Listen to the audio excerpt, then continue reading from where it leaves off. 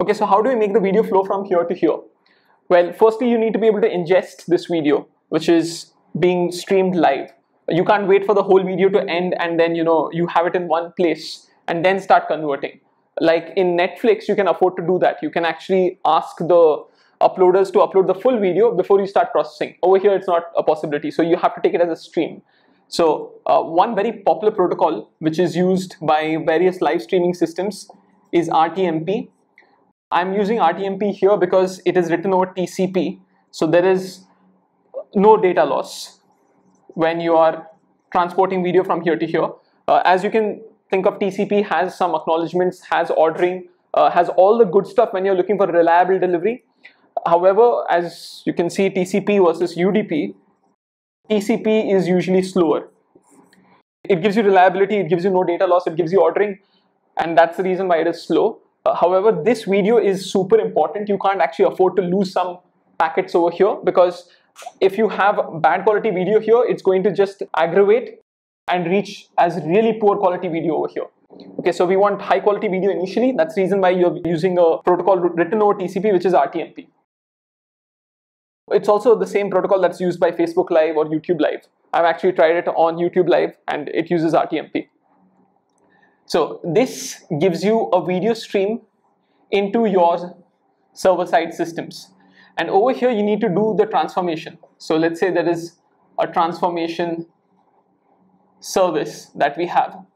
Okay, the original video, let us assume, is uh, being backed up in multiple stores over here, just in case you have a disaster you don't want to lose this video forever. I mean, that would be something worth watching live, but uh, you, you're going to store it in some databases. So that's trivial.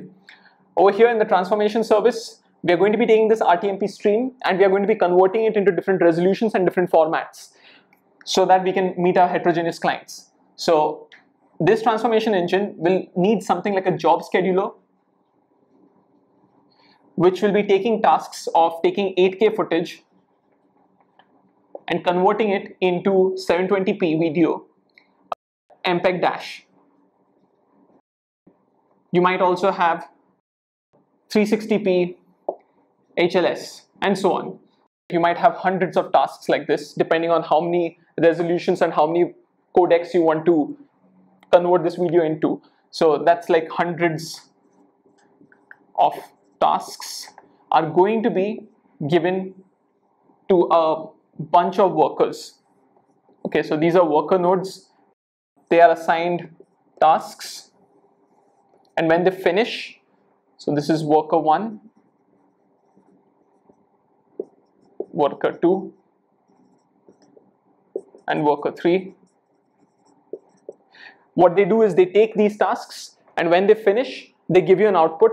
This can happen over a message queue. So your transformation service actually publishes to a messaging queue that please do task A, task B, task C, depending on these tasks. Uh, and then those are subscribed to by these workers. They start picking up tasks. And when they're done, they start posting to another message queue, which is over here. You can actually start posting the results of these tasks either in the message queue, but that's a very bad idea because it's it's full video. So much better would be to actually persist in some file storage, which is distributed file storage uh, the results of your task. Once you're done, you just publish an event that, hey, I'm done. So subscribers who are going to be actually pulling these videos and then feeding it to the end users can pull from this queue. So we have the subscribers and we'll get into detail over here. Let's recap quickly. We took the original video, we didn't want to have any loss. So we used the protocol which is written over TCP to transport it to our transformation service. The transformation service picks up these tasks that it has to do and starts publishing it to a queue, which is subscribed to by workers who then pull these tasks and start working on them. If they successfully complete, they let this video be stored in a distributed file system and at the same time they actually publish an event saying that I'm done with this task.